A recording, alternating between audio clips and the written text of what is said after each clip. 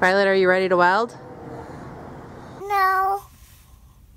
I want to. All right, so for everybody who's missing Heather, she's behind the camera today.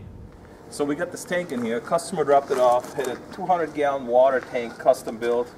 He doesn't like the way how these razor sharp lifting lugs turn out for him. And he doesn't like that the guy built him a sprinkler system where he can like water everything while he has this in the back of his truck. There's a few pinholes down in there. Nice job on the brake press and the cut. Nice fit up. But unfortunately everything is wire welded without pulse. And with the cold starts and stops, probably no preheat, that's where some cold fusion and some pinholes came in. So my little helper and myself, we're gonna check it out now. Like right here is incomplete fusion. Up here is a legitimate pinhole, not just peppering in the weld. Incomplete fusion there and a whole bunch more on the bottom. We're gonna use a TIG welder to fix everything and then make new lifting lugs designed on the computer, CNC cut, nice and big for a big strap that'll look nice and appealing and now no sharp edges.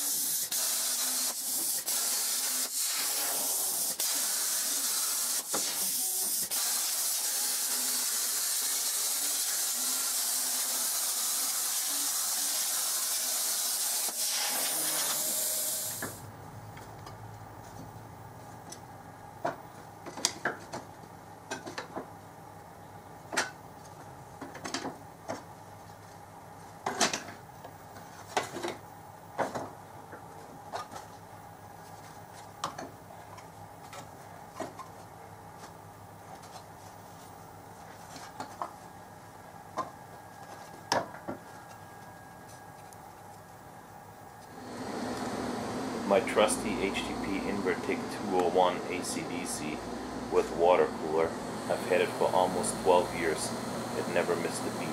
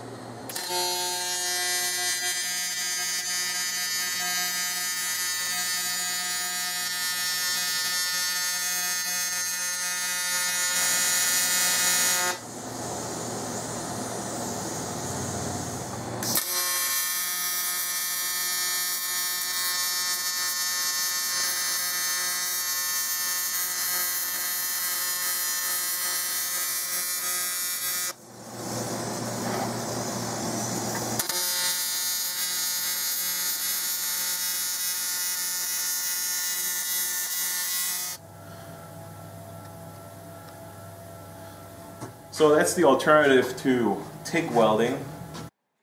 Whenever you weld on cardboard, make sure it's OSHA approved flame retardant safety cardboard. Do as I say, don't do as I do. The HTP ProPulse 200, which has a program called Double Pulse. It's a pulse on pulse system where it makes it look like a stack of dime, almost like a TIG look. So first you see the hot start function. I didn't preheat the aluminum. It's still cold. And um, then there's a crater fill at the end where it hopefully prevents the crater crack. This is 4043 wire, um, 035 diameter at 275 inches a minute, 35% uh, uh, hot start, trigger controlled, and um, 3 second crater fill.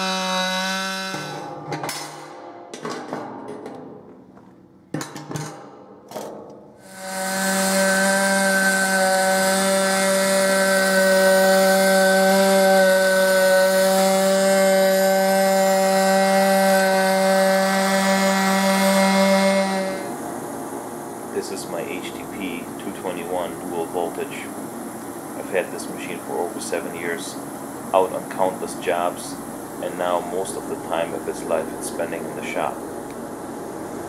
To fix the leaks in this tank, this was all spool gun welded, no pulse.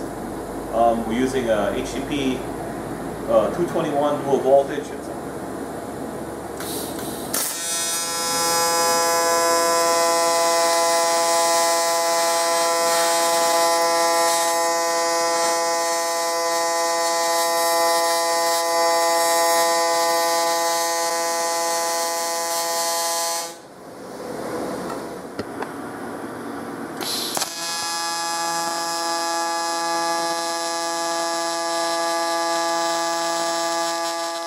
As you can see here, one of the advantages of TIG welding is that you can control your heat input without adding filler material to it. What I'm doing here is lighting the arc and using the flame to wash the existing metal into place and fill pinholes, only adding very little filler material as needed.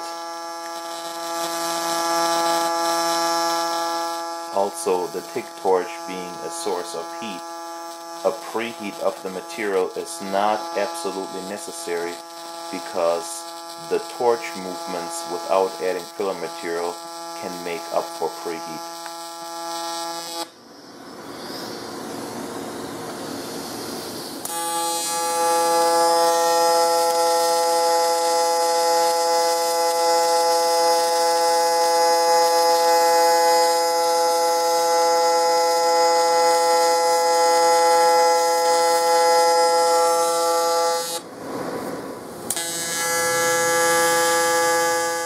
The welding helmet I am using here is outfitted with a passive filter plate shade 10.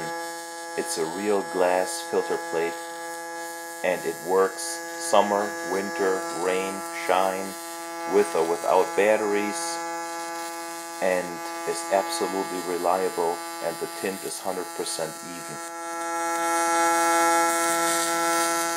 Some automatic welding hoods have problems with any welding process that has a frequency involved, like AC aluminum TIG welding or pulse welding, where the frequency of the welding machine overlays the frequency of the welding helmet and causes it to act up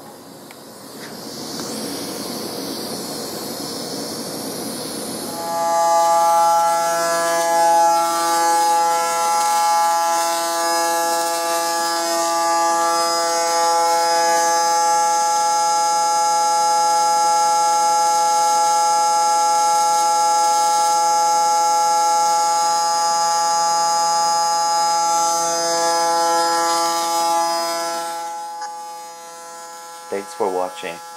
The customer was really happy with the results, how everything came out.